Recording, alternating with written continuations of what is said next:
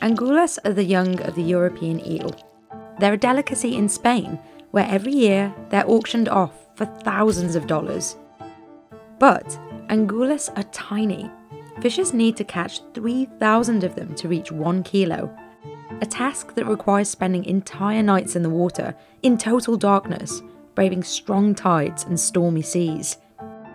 Each fisher needs to hold a license, and certain beaches are no fishing zones. Breaking any of these rules can cost as much as 6,000 euros. These regulations mean that the price of angulas has skyrocketed in recent decades.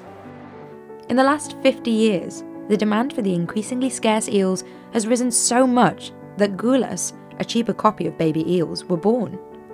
Gulas are made of surimi, the same fish paste used to make imitation crab, and cost 62 times less than angulas.